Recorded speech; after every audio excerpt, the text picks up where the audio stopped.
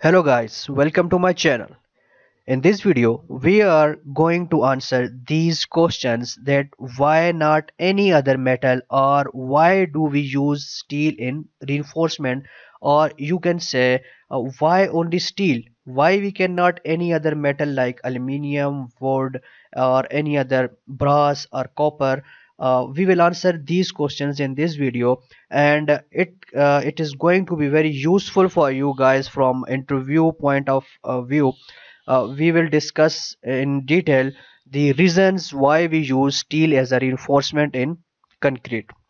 So you guys are requested to watch the complete video to get the better understanding and a reasonable answer to these questions so that you can satisfy anyone by answering the things we are uh, going to discuss in the uh, upcoming slides. But before we start our today's topic if you are new to my channel you are requested to please subscribe it and don't forget to press the bell icon to get video updates.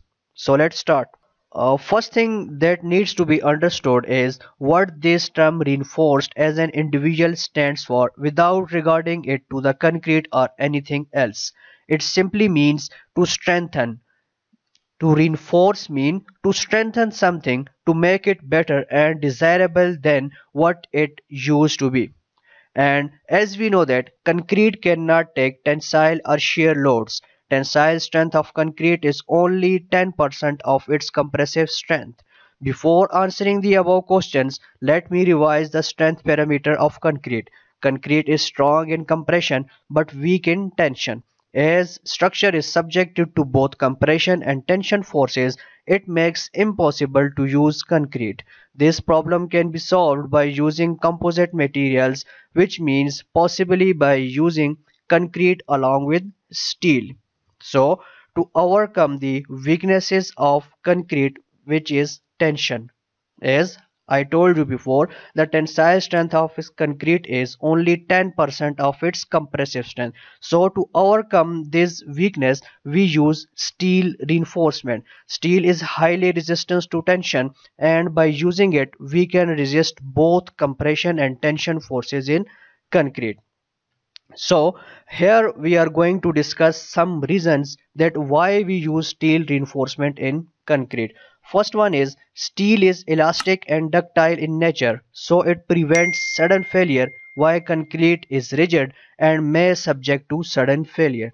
As you can see over here in this picture when the load is applied on the beam from this direction the beam bends okay or there is a sag occur in the beam and the bottom fibers goes into tension and upper fibers experiences compression.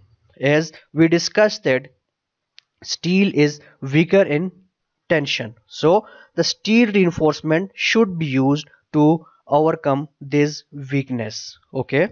And uh, another thing the as we know that the steel is elastic and concrete is brittle and uh, if we do not use the steel the sudden failure will occur okay and due to rigidity and brittleness of concrete it cannot bear tension and shear forces. Therefore steel is used.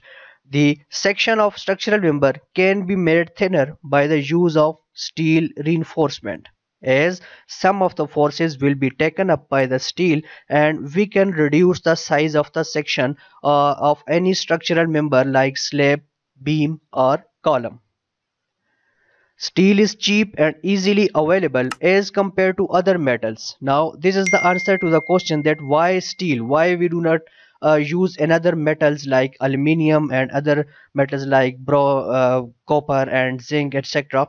Uh, because it is easily available and cheaper and it is easy to cutting, bending and installation as well as it has good weldability.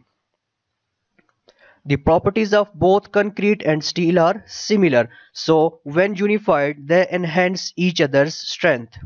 Concrete and steel undergo similar strain if subjected to same loading and modulus of rigidity of steel for both tension and compression is same and also steel is recyclable and gives good salvage value. The most important reason that why we use steel as a reinforcement is here that the coefficient of thermal expansion of both materials are same which results in stronger bond between them. If the coefficient were different that is if concrete have a different coefficient of expansion and steel had a different then there will be a loss of bond between concrete and steel which will uh, which will result in failure or cracks. To prevent the propagation of cracks developed due to temperature and shrinkage stresses, we use steel reinforcement. As in one of my video we discussed that why shear reinforcement is provided in the beam or columns which is in the form of stirrups or uh, you can say ties okay? Uh, and the steel also pre prevent the propagation of cracks as you can see over here these cracks are shear cracks and the shear reinforcement which is in the form of stirrups in beams and ties in columns. It prevents the propagation of cracks. So i hope you have understand the reason why steel reinforcement is used in concrete and why not other materials are used. So that's all for today. In the end you are again requested. If you are new to my channel please subscribe it. And don't forget to press the bell icon to get more informative video updates